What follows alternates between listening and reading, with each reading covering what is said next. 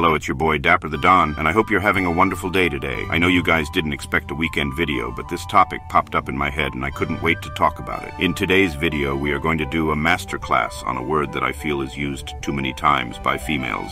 Before I start, I just want to say that this is just the Don's opinion. You don't have to agree. If it doesn't apply, let it fly. Now let's get into it. We live in a generation that is filled with a bunch of statements that are followed by contradictions and situations that are double-sworded.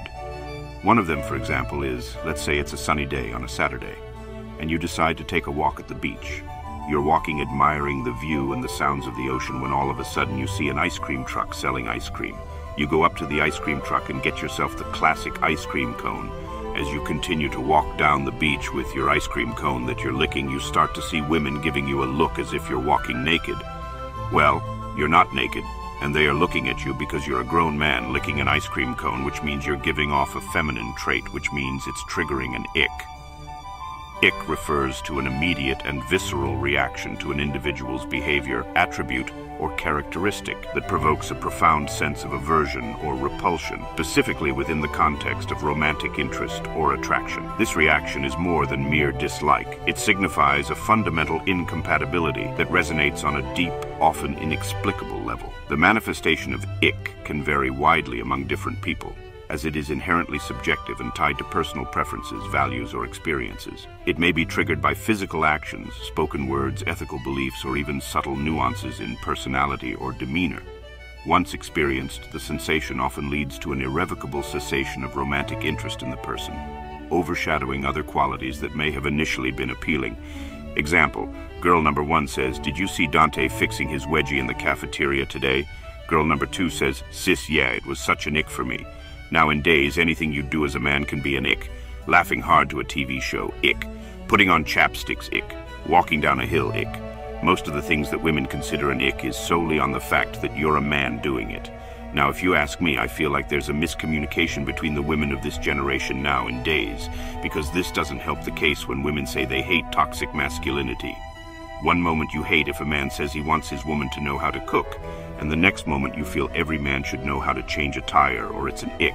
I remember I saw a post that went viral and a girl said, when you meet his friends and you realize he's not the leader of the friend group. I don't know what you women thought it is, but this isn't Planet of the Apes. We don't challenge each other for the alpha position because there isn't any. But with everything that comes with the internet culture, it's mainly just people talking out of their ass who are single and live in their echo chambers and it's all fun and games until we start playing bruv. She posts pictures of her in a bikini on Instagram that's such an ick. I told her I was hungry, and instead of asking me what I wanted her to cook, she said we should order pizza. As a woman, how could you not cook for your man? Such an ick. Wait what you said you don't give head. It's giving ick. Not gonna lie though, that's last part is valid AF. But these videos of women saying their icks are getting out of hand, let's watch a few. Five icks in number one when they can't swim. Okay, so it's bad if we can't swim, but what about you? Is it an ick still when you can't swim? Besides, the only time you should be worried about my swimming is when I'm swimming in that meow meow. Number two, and this one I learned the hard way. When a man is running after the ping pong ball in beer pong. All right, guys, you heard it here. When you drop something and it rolls away, just look at it angrily and tell it to come back before you start counting. Number three, when they are rude to service workers. I don't care if this is a retail worker, I don't care if this is at a restaurant, I don't care if this is in the parking lot. Nine out of ten times it will be the women who are rude because we men can get the wrong order and just say thank you. That's more of a pet peeve, if anything, which is one of mine. Number four, when they ask for nudes. I'm going to give her that one, fellas. Trust me, a girl that sends nudes probably sends nudes on the normal and will send you a nude before you even get to ask. I was talking to a girl one day and she was saying how she likes to do yoga and stuff. I asked her what kind of yoga position she does, and instead of answering the question, she proceeds to send me a video of her stretching in the doggy style position completely naked. Five, when they can't or don't cook for themselves or for you, but like mainly themselves and when they don't clean after themselves. Okay, so she's just not one with reality because I don't know about you guys, but in 9 out of 10 marriages, the wife is the only one that knows how to cook. And before you ask, yes, the Don knows how to cook. Now, don't get me wrong, though, if you do know how to cook as a man, women do find it attractive, but not knowing how to cook as a man is not a deal breaker for women. And the cleaning up when you're going to have company over is honestly just common sense. Next video. You like are looking at a guy and then they trip and fall. Like see him trip and fall, and then you're like, what the fuck? It's like, get up. It's like, like why are you falling? Alright guys, if you ever trip and fall, just stay on the ground and die because it's over for you.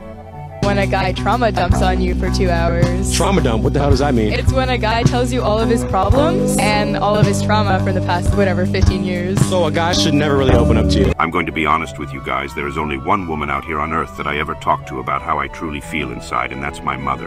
When a woman tells you her problems as a man, you're supposed to be all ears, but as a man, you shouldn't have any.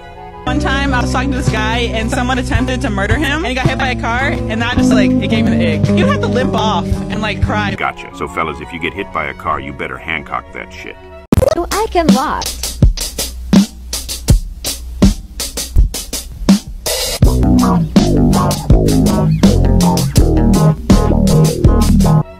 Okay, so forget what the other girl said about not knowing how to swim. Just don't go in water at all.